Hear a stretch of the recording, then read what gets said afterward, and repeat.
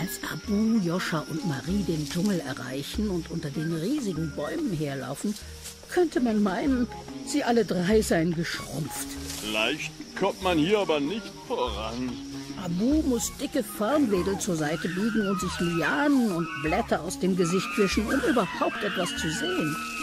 Das klingt, als würden sich Affen durchkitzeln und nach Vögeln mit Schluckaugen. Auf einem einzigen Baum im Dschungel leben mehr Tiere als Menschen in einer Stadt. Habe ich mal gelesen. Und warum sehe ich dann keins? Erst nach einer Weile entdecken sie plötzlich die Tieraugen. Und es werden immer mehr. Ah, zwischen den Astlöchern Blättern. Denn im Dschungel spricht sich schnell herum, wenn etwas Sonderbares passiert. Und zwei Halbaffen auf einem Elefanten sind unglaublich sonderbar.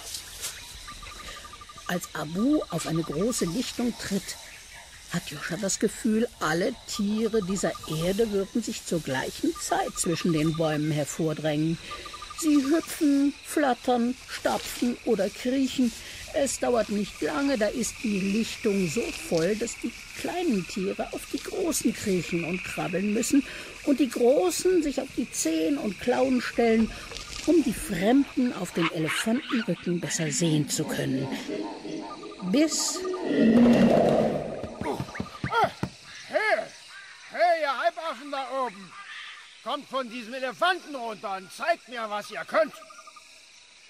Äh, Abu, was machen wir jetzt? Ich glaube, ihr müsst euch vor dem Gorilla beweisen. Sonst lässt er uns nicht durch. Aber wie denn? Für, für Nichtskönner ist im Dschungel kein Platz. Also, was habt ihr drauf? Du bist viel stärker als wir. Die Schimpansen können besser klettern. Die Vögel singen schöner. Und warte mal. Vielleicht könnten wir eine Geschichte erzählen.